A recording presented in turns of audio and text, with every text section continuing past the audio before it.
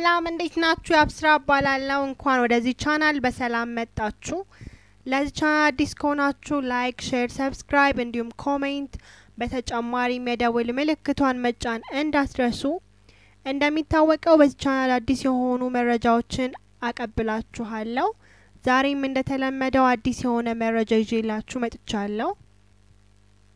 ዛሬ ይዤላችሁ የመጣው ስለ ለውዝ አስገራሚ የሆነ ጥቅም ነው ማለት ነው። በርካታ ጥናቶች እንደሚያመለክቱት በየዕለቱ አንድ ብርጭቆ ቀይ ወይን መጠጣት ጥሩ እንደሆነ ቢገለጽም ለውዝ ግን ከወይን የበለጠ ንጥረ ነገር በውስጡ ይዟል። በማዕድን የበለጸገም እንደሆነ ይነገርለታል።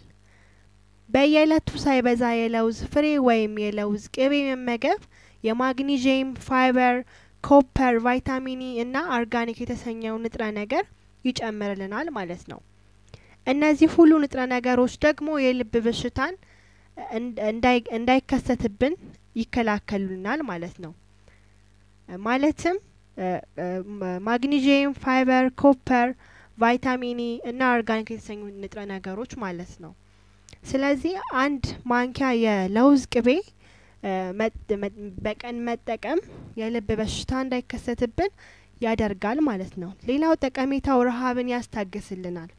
ረሀብን ለሁለት ሰዓት ተኩል ያህል እንደሚያስታግስልን ተነግሮለታል። ከሀያ ደቂቃ እስከ ሰላሳ በላይ የማይቆዩ እስናክ ወይም ኬኮች ጋር እንደማይነጻጸርም ጭምር። ሌላው ለውዝ የሀሞት ጠጠር እንዳይፈጠር ይከላከላል። ይህ መባሉ በጣም ሊያስገርመን ይችላል። ነገር ግን የተረጋገጠ እውነት እንደሆነ ይታወቃል። ላለፉት ሀያ አመታት የተካሄደው ጥናቶች በሳምንት ሀያ ስምንት ግራም ወይም የአንድ ብር ለውዝ የሚመገቡ ሰዎች የሀሞት ጠጠር በሰውነታቸው ውስጥ የመፈጠር እድሉ በሀያ አምስት ከመቶ ይቀንሳል ተብሏል። ሌላው ድብርትን ይከላከልልናል ማለት ነው። ለውዝ tryptophan የተባለ የአሚኖ አሲድ ጥሩ መገኛ እንደሆነ ይታወቃል።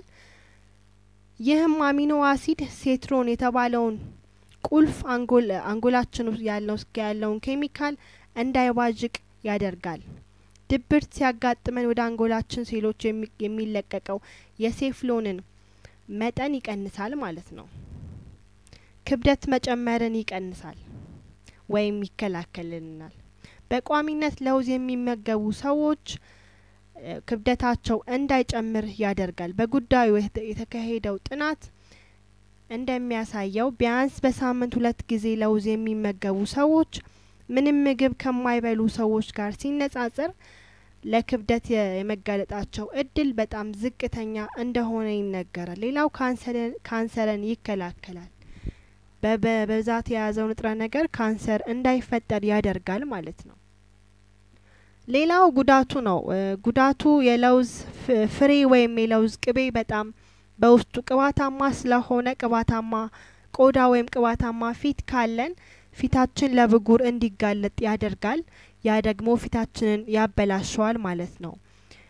ይህንን ለመከላከል የምናደርገው ደግሞ ፊታችን በጣም ወዛም ከሆነ በመጠን ወይም ቀንሰን መመገብ፣ አንድ ማንኪያ አንድ የቡና ማንኪያ መመገብ። ፊታችን normal የሆነ ሰው ምንም የማያደርገን ሰው የሚስማማን ሰዎች ብጉር የማያወጣብን ሰዎች ግን አንድ የሾርባ ማንኪያ የለውዝ ቅቤ መጠቀም እንችላለን።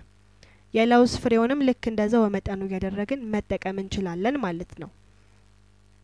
ከላይ ያቀረብኩላችሁን እንደወደዳችሁ ተስፋ አድርጋለሁ። ስለተከታተላችሁኝ አመሰግናለሁ። በሌላ ቪዲዮ እስከምንገናኝ ቻው።